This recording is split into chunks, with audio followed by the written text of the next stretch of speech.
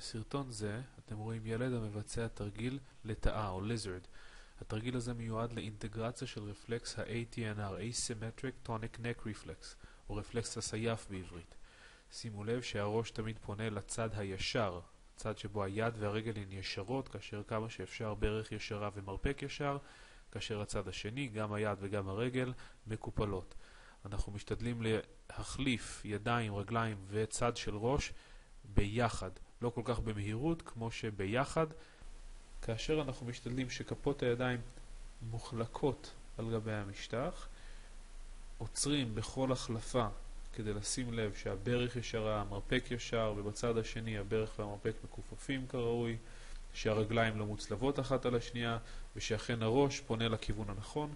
חשוב להקפיד שהראש מסתובב מצד לצד ולא שכל הגוף נע מצד לצד.